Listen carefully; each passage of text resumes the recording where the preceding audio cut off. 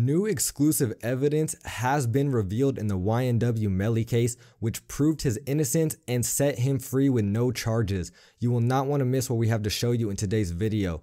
Also, if you are a fan of YNW Melly, leave a like on this video, and if you do want to join this month's giveaway of a new pair of AirPods, all you have to do is subscribe to the channel and watch this video until the end, find and comment the hidden message, and you will be entered. Now, there has been a lot of talk about YNW Melly after he released his hit song Murder on My Mind. He was not known, but then he came in the rap game and made a huge name for himself, and he started his rise into the rap industry. He was one of the most talked about names in 2019 after he secured so many fans through his music. He seemed to have many loyal fans, and his popularity continues to grow. But his music has been put on hold for a while now, due to him being locked up and awaiting his verdict for a double murder charge. There has been a lot of conflict and speculation in this case on whether he is innocent or guilty, but with some new evidence coming to the light, his innocence seems to be proven, which you will want to hear why, so stay tuned. But for those who are new to this case, YNW Melly has been sitting in jail facing a double murder charge after he was accused of killing his two friends, YNW Juvie and YNW Sakchaser. With these charges, he was not only facing life in prison, but also the death penalty. It is legal in Florida for the death penalty, and they are going after it for YNW Melly. Melly does claim that he is innocent, and he has a lot of fans believing that he is. But the police have a different opinion, believing that he was the one who shot his two childhood friends and that he tried to set up the crime scene to make it appear as a drive by shooting. There was a lot of confusing evidence in this case, which has people really stuck on if he's actually innocent or guilty. It was opinion based because there's kind of signs leading to both.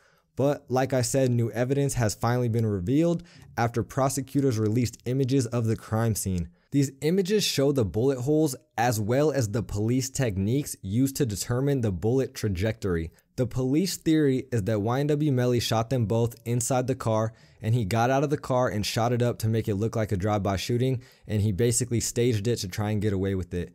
What's interesting is one of the headshot theories mapped out by the police has the bullet coming from behind the car and through both seats. YNW Melly was sitting on the left side of the car in the back seat, which means if he actually was the one who made that headshot, he would have had to reach his arm around the back seat and shoot through two seats and get the perfect shot.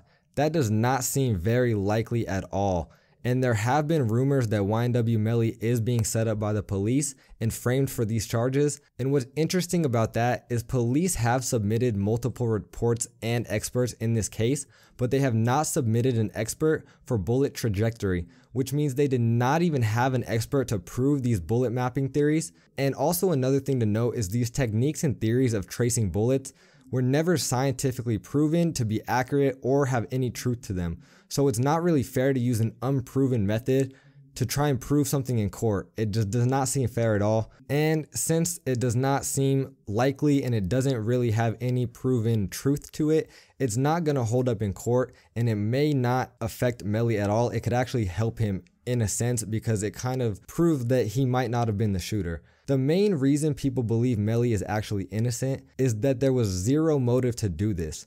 These were his childhood friends, and he seemed very close with them. He was even in a documentary with them, speaking very highly of them. He's known them for a long time.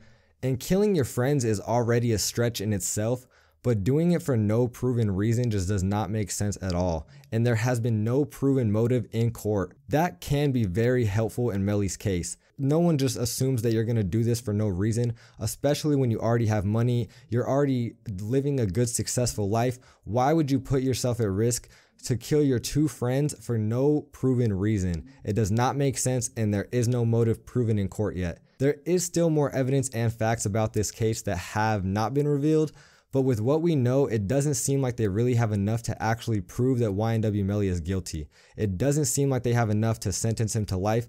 It definitely does not seem like they have enough to give him the death penalty, which is a good thing for a lot of YNW Melly fans. We definitely don't want to see that happen, especially if he is innocent. So if you are a YNW Melly fan, hope that this is not going to happen. Like I said, there is a lot to still unfold in this case, and he still is awaiting his verdict but he could be found innocent and being released with zero charges after this evidence somewhat proves that he seems to be telling the truth. There is a little mix up in the stories that he did have, which could affect him, but overall, I don't think they have enough to prove that he actually did this murder. With that being said, I am going to end the video here. I want to know what you think about this in the comments. I'm curious to see who actually believes he's innocent. Not just because you're a fan, if you actually think that he's innocent or guilty, let me know in the comments. Also, if you are a YNW Melly fan, leave a like on this video. And if you are new to the channel, please subscribe. Mixed Ice Media. I will see you in the next one.